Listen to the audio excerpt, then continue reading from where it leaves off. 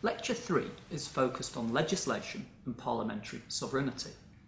When I'm talking about legislation, we will be focusing on Acts of Parliament. I'm not going to say a lot about how Acts of Parliament are made, but we will be massively concerned with the idea of an Act of Parliament as a source of law. This will take us to the idea of parliamentary sovereignty. Parliamentary sovereignty is a fundamental doctrine of the English Constitution. I think they'll also want to look at some cases which uh, suggest the modern reality of the of parliamentary sovereignty is open to certain questions.